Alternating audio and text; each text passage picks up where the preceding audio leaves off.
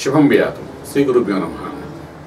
మేషరాశి వారికి డిసెంబర్ ఒకటో తారీఖు నుండి పదిహేనో తారీఖు వరకు ఏ విధంగా ఉన్న విషయాన్ని విశేషంగా తెలుసుకోవడం ప్రయత్నం చేద్దాం.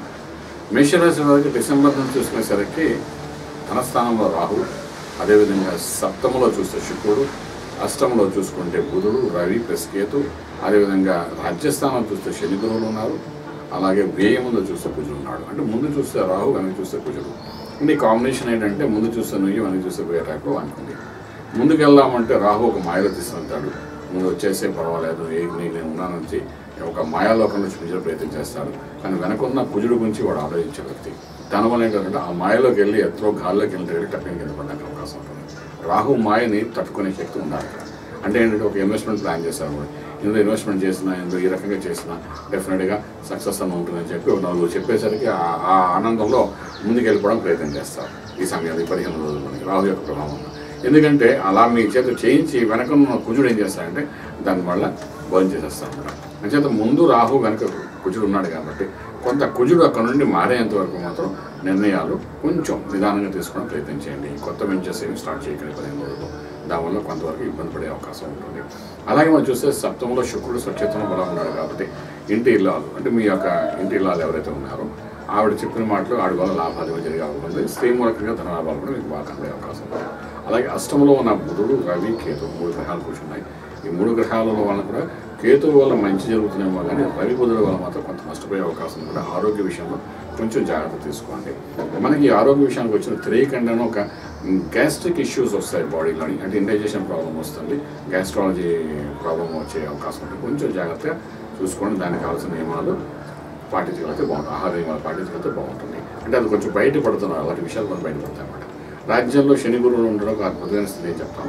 రాజ్యంలో శని ప్లస్ గురువు శని అంటే స్వక్షేత్రంలో ఉన్నాడు గురువు అక్కడ చేరు ఉన్నాడు అంటే మనకు భాగ్యాధిపతి ఎవడైతే ఉన్నాడో వాడు రాజ్యంలోకి వెళ్ళాడు. ఈ మేన సో డెఫినెట్గా వీళ్ళిద్దరు కలిసి ఉండే ఒక ఎస్టాబ్లిష్మెంట్ అనేది కొంచెం జరుగుతుంది. చక్కటి ఎస్టాబ్లిష్మెంట్ రాజ్యంలో జరుగుతుంది. అది వ్యాపారస్తులు జరగవలసిన ఎస్టాబ్లిష్మెంట్ జరుగుతుంది. దానివల్ల కొంత ఫలితం పాజిటివ్గా కనబడే అవకాశం ఉంటుంది.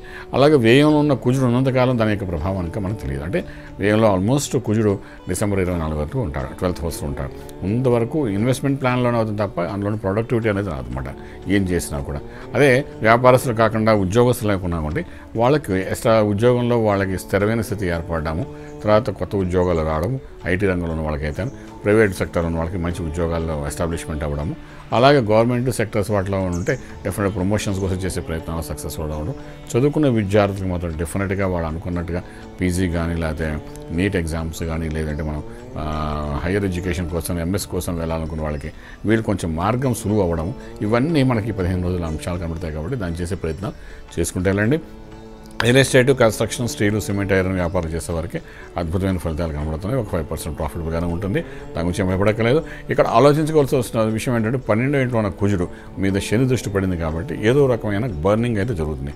ఈ బర్నింగ్ చేసేది మనకు కనిపించదు కానీ బర్న్ అవుతుంది. మన మీద ఎవరైనా ఇన్వెస్ట్మెంట్ ప్లాన్ చేయాలనుకున్నా కూడా మనం ఇన్వెస్ట్మెంట్ ప్లాన్లోకి దిగినా కూడాను అది ఇప్పుడు ఎంతో ఆనందంగా కనబడుతుంది. ఎందుకంటే రాహు పన్నెండింట్లో సెకండ్ హౌస్లో ఉన్నాడు కాబట్టి రాహు చేయిస్తుంటాడు. అది ధనము వాక్ విద్యాస్థానంలో ఉన్నాడు కాబట్టి.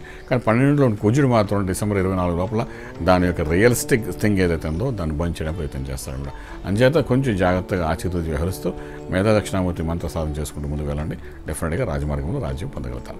శుభం బియాతం. పూర్తి వివరాలకు సంప్రదించండి. Sri Vedamata Gayatri Jyotishyalayam. Brahma Srimantha Suryanarayana Sharma. Srinilayam first floor one not one. Sai Vaibhav layout Chitrapuri colony Khajaguda Hyderabad five lakhs eight. సంప్రదించవలసిన phone numbers triple eight triple five nine one four seven triple eight triple five nine one four eight nine eight four triple nine six triple four.